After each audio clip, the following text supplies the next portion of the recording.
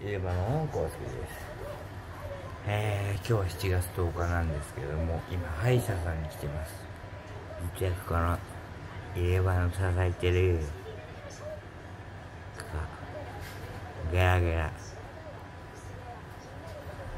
カガラガラ。でめちゃくちゃ痛くて朝から。でも限界で。無理やり歯医者さんに来て予約入れてもらってます、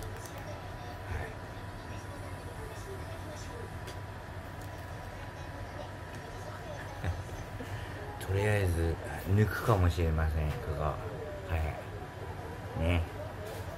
そしたら入れ歯の入れ歯上なくなっちゃうかもしれないしちょっとわかんないですけどもうとにかく涙が出るほど痛い痛くて。